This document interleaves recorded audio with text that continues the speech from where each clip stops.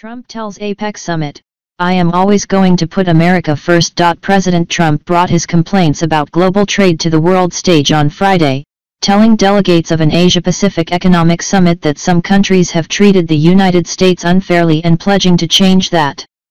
I am always going to put America first in the same way I expect all of you in this room to put your countries first, Trump said at the Asia-Pacific Economic Cooperation, APEC, summit.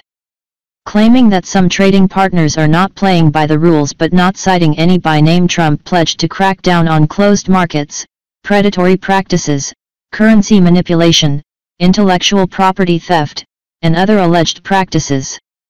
As he did in China, a key stop in his 12-day tour of Asia, Trump said he did not blame other countries for taking advantage of the United States he blamed previous presidents. I wish previous administrations in my country saw what was happening and did something about it, Trump said. They didn't. But I will. While Trump attended the APEC summit to argue for new trade rules and lobby against North Korea, one potential event fell through, a formal meeting with Russia President